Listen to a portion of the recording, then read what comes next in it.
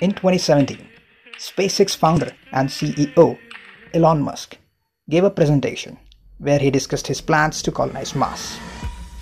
Along with colonizing Mars, he also discussed about hypersonic Earth-to-Earth travel by using Big Falcon rockets or BFR. Here, the idea was to launch passengers into space by using BFR and land them back into different parts of Earth.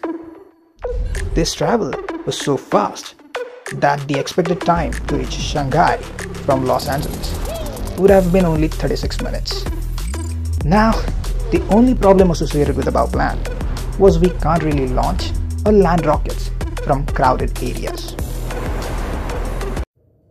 To solve this issue, SpaceX came up with the revolutionary idea of floating launch pads.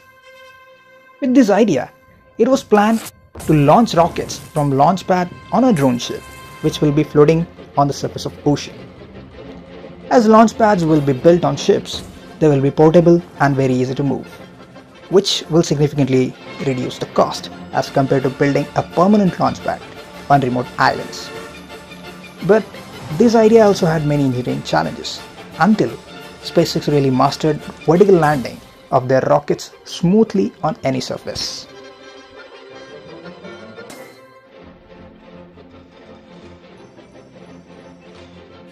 After Musk's 2017 presentation, this idea was not discussed much until recently when SpaceX posted two job vacancies for engineers who will help design and build an operational offshore rocket launch facility. There were many speculations about these job openings. Some were saying that these are related to the Starship project for Mars colonization, and some were saying that this is related to Earth to Earth travel. And finally, we have received confirmation from Elon Musk himself on June 16, 2020, where he tweeted this.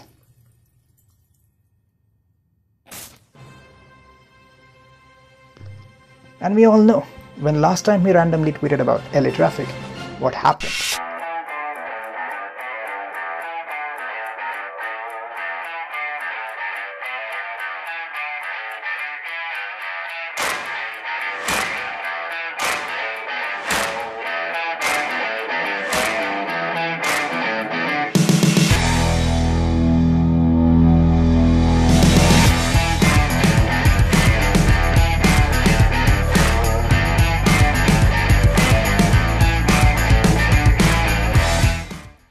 If you really want to apply for a job in SpaceX, just to fill those vacancies, please check out the links in the description given below.